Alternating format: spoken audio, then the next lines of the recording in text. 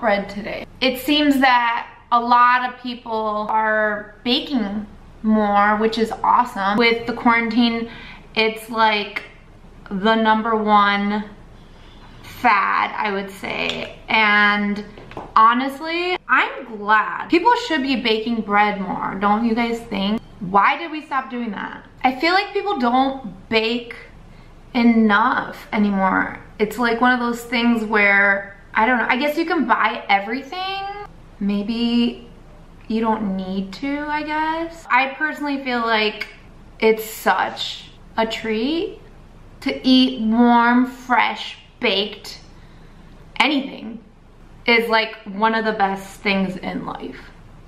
So I started baking bread a while ago and I would say it's one of the easiest, most fun things to do. And I think people 100% think it's a little harder than it really is.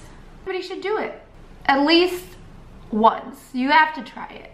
So to bake the bread, the easiest way to do it is to get yourself a Dutch oven and I'm not talking about you know what. It's essentially like a cast iron pot. You can make like all kinds of stuff in it.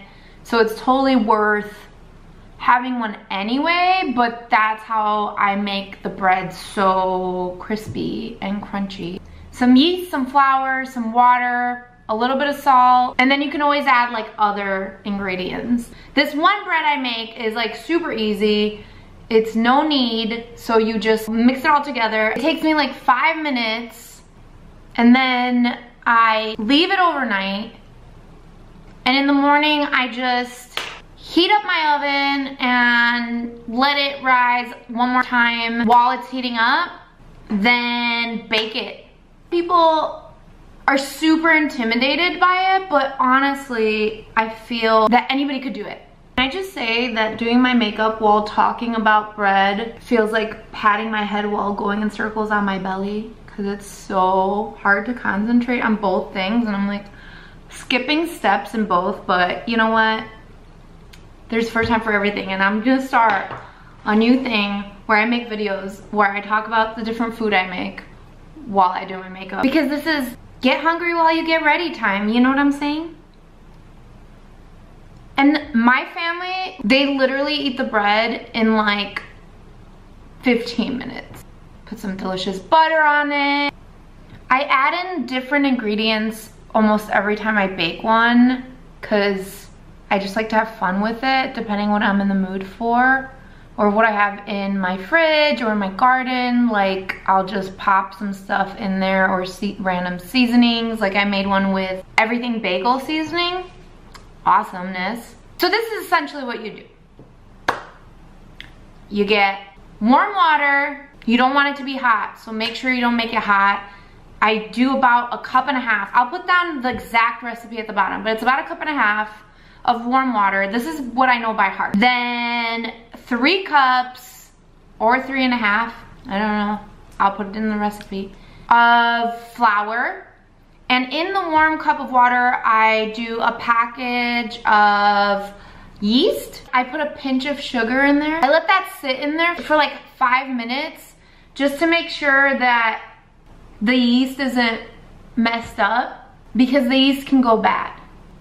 So then I start seeing bubbles and that's how I know it's going well. In a separate bowl, I put the flour and the salt at the bottom because the salt can make the yeast not work again. It can deactivate the yeast too. So yeast is really freaking touchy, man. Don't mess with the yeast. So you then add the yeast with the water into the flour I use like a spatula or something and like mix it all together and it starts becoming kind of tacky and clumping together. And I do that at night.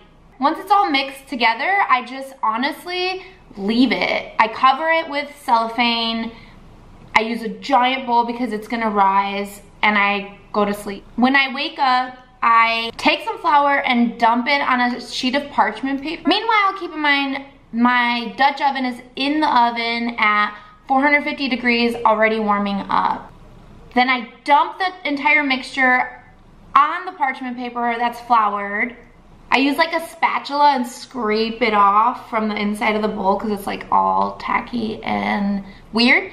and I dump it on the parchment paper. And once I do that, I start shaping it. I, I pour more flour on top and I rub it around on the top of the bread and then I fold it in like this to make it smooth and don't do that too many times. You just wanna lightly tuck in the corners more or less.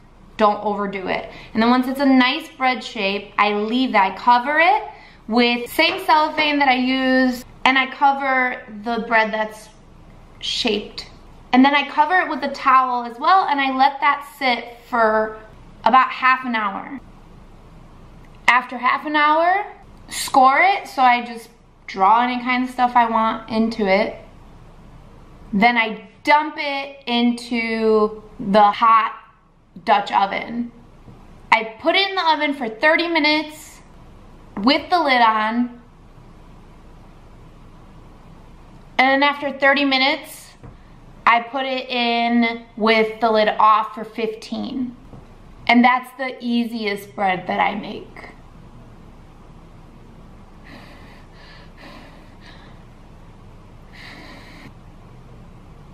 Feel like you can't mess it up. The only way it would actually mess up is if the yeast went bad, which in that case, you would know before you dump it in there because it bubbles in the water.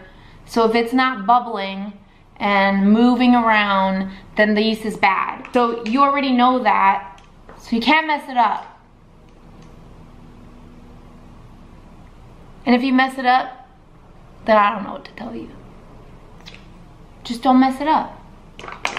I don't know, I decided it was better to talk about bread in this video than talking about what I'm doing with my makeup because I feel like people are so sick of hearing what product it is, whatever. Honestly, if you guys have any questions, I'll answer them. So feel free to ask me anything of what I'm doing with my makeup. But let's be real. I feel like everything's been done almost, not legit. And don't get me wrong, like I'll still be creative, but there's a part of me that just wants to do my makeup and chat with you guys. I don't see why there's anything wrong with that. Why not? You know what I mean? We can have fun. And it's easy for me because I, I get ready every day anyway. This way I can get ready and tell you guys stories. I'll try to do more of this cooking stuff or baking or whatever, but like, I don't know if some of you know, but I have a food Instagram and so I just post my dinners on there. I make it really easy because I have a family of six. I cook and bake anyway. There, it's just like, it's something I do and I don't think I'd want to have a channel that is anything but what I do anyway. I just want to live my best life, guys. I just want to live my best life and do what I love. And I love doing makeup. I love doing hair and I love cooking and baking. Why not incorporate all my favorite things into one and just do what I do. So the first thing you need to do is buy a Dutch oven, all right? There's expensive ones that are like 300 bucks and then there's ones that are like 50 bucks. You could go, you can go, you can't go anywhere probably, but if you can, maybe there's like a TJ Maxx or Marshall still open. I got mine for 50 bucks. Get one that has the inside that is coated. Don't get one that is like the cast iron inside because I think those can rust easier and they're just more work cleaning it. Also, like if you have to season it, it's just, why, why do all that when you can honestly just buy one that's coated and then it's easy breezy I think you guys can do it. I would love to see pictures or videos of your breads, man. Start with this easy recipe that I put in the description. I honestly don't think anybody could mess it up. I use a razor for the scoring and that's really fun. You can just cut it up and it cracks however it's going to. You can't really know what's gonna happen, so it's kind of like always a little mystery. I did once write mom on one, which was really hard actually. So I was nervous that it was gonna like say, wow, but it ended up actually saying mom. The key is I did like a heart around it, so that spread, but the mom stayed. I don't know. It worked out all right. I don't know if I just got lucky. If you want to, you can check out my uh, food Instagram. It's Aga Tompkins Kitchen. You can see just pictures of meals I've made. It's nothing exciting, but if you see anything on there that you'd love me to tell you guys about how I made it or whatever in one of these food and makeup videos, recipes and makeup, get hungry while you do your makeup, then let me know so anyway, back to business. It's not as hard as you think, and I promise you can do it. It'll be better than any bread you bought at the store, unless you went to a bakery and bought it that day. But even then, we eat this bread like literally seconds after it comes out, not seconds, because you gotta kind of let it cool off before you can cut it. But we eat it like 10 minutes after it's baked. And then we could talk about like sourdough and stuff like that. I have lots of ideas. Don't copy my ideas, you YouTubers. But yeah, I like freehand most of my food stuff. I don't always follow recipes. Actually, I never follow recipes. I legit always change it at least a little bit. I don't know what it is.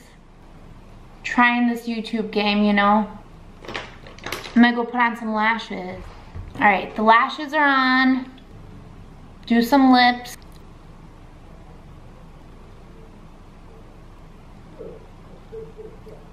Done. It's my Dutch oven. It's real, real used, as you can tell.